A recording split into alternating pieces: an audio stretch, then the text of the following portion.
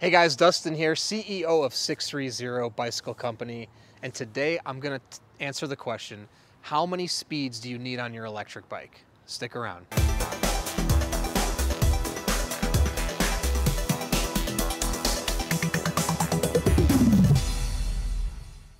All right, so today we're going to answer the question, how many speeds do I need on my electric bike?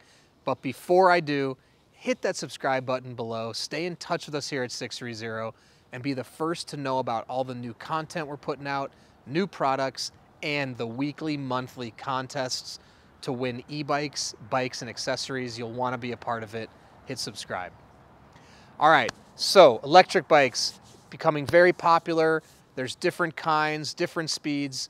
So let's talk about how many speeds do I need on my electric bike. Now, I've got a couple models here. Um, all three of these bikes actually have seven speeds. Now, the one thing I want to clarify before we jump in is when I talk about speeds, I'm talking about the speeds of the actual bike itself. The speeds have nothing to do with the motor. So there's no shifting of speeds um, in the motor. Now, there are different pedal assist levels and different assistance levels that the motor can give you while pedaling, but there's no speed like a car or a motorcycle um, or like on your bicycle derailleur. So the actual speeds we're talking about are on the derailleur of the actual bicycle. So if you're using the pedal assist and you're shifting your bike, um, you know, you could go into like seventh gear and the motor's still going, things like that. So again, this is for how many speeds on the actual bicycle portion. Now, this is a very um, tricky question to answer because the how many speeds you need is really up to you and how you're going to use your electric bike, where you're going to ride it. Um, are you concerned about maintenance? Are you going to be riding up tons of hills? I'll try to broadly cover some different scenarios and what I think my best suggestion is for speeds in those um, in those certain uh, situations. But there's a lot of elements to consider, like I said. So Let's go through all the things to consider when you're thinking about how many speeds you need on your electric bike. Where are you going to ride your bike? Um, how far are you going to ride your bike? Um, are there hills on your rides? How fast do you want to go? Uh, are you looking for variance in the speeds? Like, are you wanting there to be an easier gear or a harder gear? Um, and then I think I said, how fast do you want to go? And there's one that's slipping my mind right now, but it'll come back to me at some point that I'll bring up. So let me give you some different scenarios. If you are somebody that wants an electric bike and you are going to rely, you know, you're just going to be on flat ground and you're going to rely a lot on the motor, um, you could maybe even get away with a single speed electric bike. Now, one thing I want to point out too on a lot of electric bikes is there's different sized chain wheels. So right here you have your chain wheel. The larger that is in the front, the harder it's going to be for you to pedal. So I've seen some electric bikes that they have a very large chain wheel and only one speed. What this means is the one gear that you have will be relatively difficult to pedal, but it's going to allow you to get higher speed as you're going because it'll be more difficult to get going. But once you get it going, you're turning a bigger wheel, the bike will go faster. The downside of that is um, it's going to be harder to go up hills. And because you're going to have only one gear and a large chain wheel, it'd be very hard to go up hills. So my recommendation is stay away from a one speed um, electric bike. It's not going to give you a lot of variance in terms of where you pedal, how you pedal. In addition to that, ah, I remember now. Another thing you want to consider is if you're going to be riding your electric bike a lot without the electricity. That is a very important one. If you plan to use your electric bike with without the motor turned on, you're going to want to have more speeds that are capable um, of, of doing more so you can use it more as a regular bike. If you're going to use it mostly as an electric bike, you could probably opt for less speeds. So as an example, if you do opt for a single speed bike, I would suggest that you're not really going to pedal it as a normal bike very often. and you're probably not doing a lot of hills, and you may even rely on the throttle, the throttle quite a bit. So not all electric bikes have this feature. All of sixthreezero's do. You can ride the bike in three different ways. One is like a standard bike with no electrical assistance. Two is that the electrical assistance is just helping you when you pedal. And usually there's five levels of assistance. One, two, three, four, five. And you can gauge how much assistance the motor will help you when you pedal. The third level is full throttle. Not all e-bikes have full throttle. The sixthreezero's do. It's a thumb throttle here. You push it down and the bike will go with no pedaling. So a single speed would be a great option if you're gonna rely on the throttle quite a bit or you're on flat ground.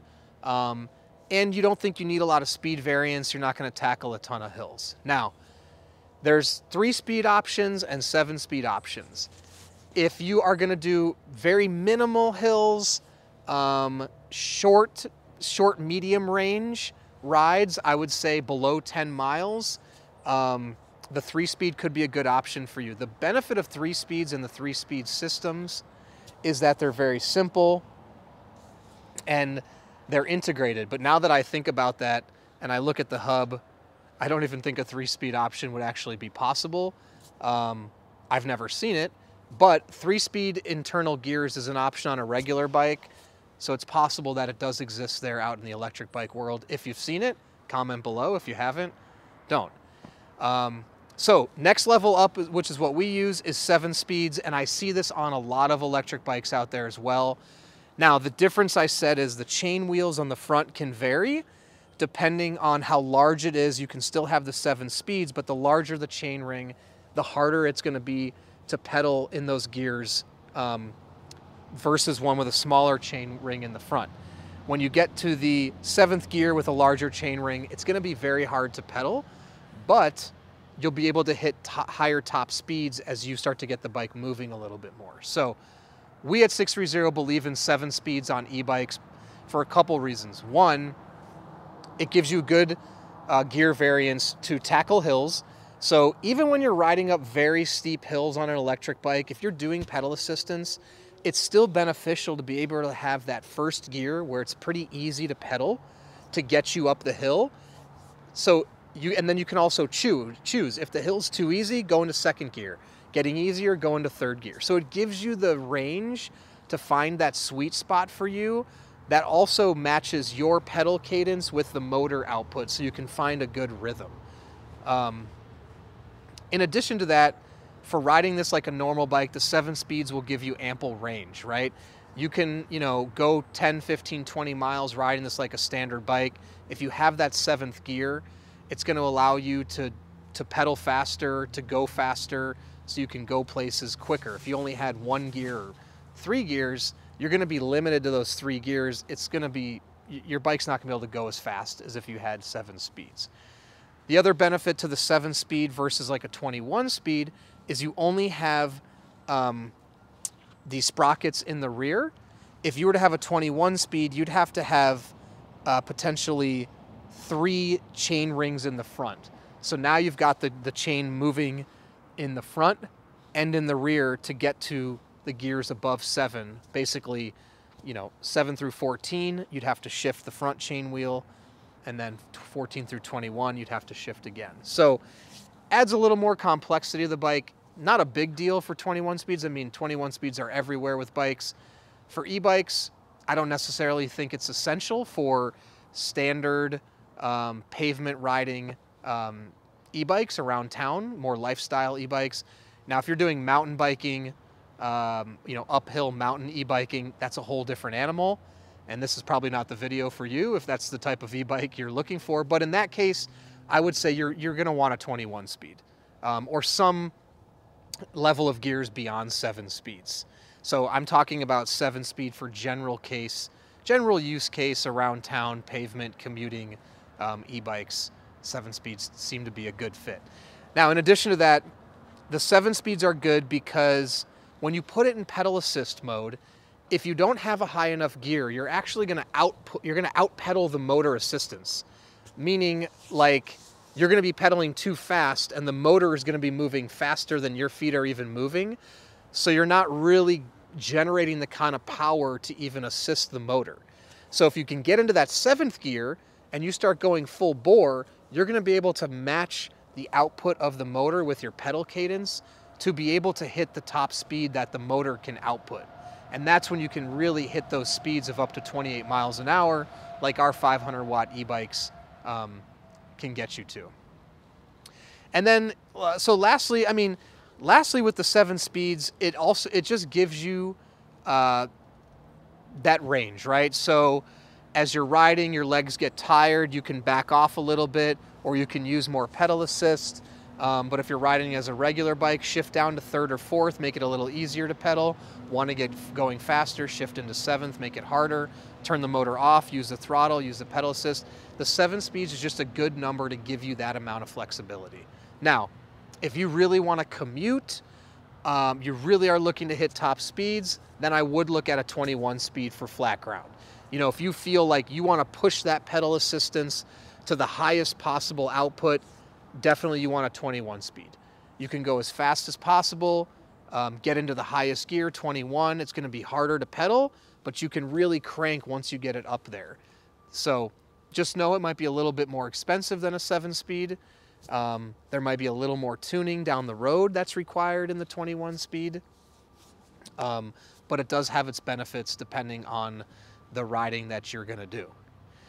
So I think that sums it up in general. And, you know, just to comment lastly, there could be other combinations of gears out there. There could be 14 speeds. Um, I believe I've seen, you know, nine speeds. Um, I'm not really speaking to those. I'm kind of grouping everything really into one, let's say seven to 10. Um, and then I said 21 speeds. There's also going to be, like I said, 18 speeds, 23 speeds. But the number one thing for you to think about is how are you going to use your electric bike? Are you going to use the throttle? Are you going to use the pedal assist? And then, depending on those factors, that is how you would determine your gears. More hills, um, you at least want seven speeds. You know, everything moderate. So moderate hills, seven seven speeds. Tons of hills, 21 speed. Moderate speed, seven speed. High speed, 21 speed. Flat ground, low speed, one speed. So I hope that helps. I hope that'll help you choose an electric bike and the correct speeds for you. If you have any questions at all, or if you have any thoughts on this topic, please comment below. We'd love to hear it. Or reach out to us, the team at sixthreezero.com, or call us 310 982 2877. And don't forget, go to our website, sixthreezero.com, and use our proprietary body fit tool. It's going to ask you a few questions about your body and your life, and it will fit you to the perfect electric bike, including the speeds. And we have a 90 day test ride your e bike policy. If you don't love your bike within 90 days, send it back, no questions asked, no money out of your pocket. Also, we have a huge community of riders at sixthreezero in our sixthreezero Facebook pedalers group. You can just search for sixthreezero pedalers or our app, the sixthreezero app you can download in the iOS or Android store. You can talk to anyone in our community, post a message, ask questions, ask them how many speeds they think are perfect on an electric bike, and they can be helpful because there's real riders out there riding real sixthreezero electric bikes. In addition, after you become an owner, it's a lot of fun to share your stories, talk to other riders, and compete in our app for the weekly leaderboard. So I hope that helps. Thanks for sticking around. And don't forget, it's your journey, your experience. Enjoy the ride.